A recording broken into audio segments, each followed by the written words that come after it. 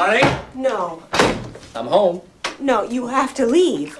These are fantastic. Oh, stop eating my macadamia nuts. Come here, give me a kiss. No. me a kiss. No, no, I'm serious. I'm serious. You can't stay here out. Why?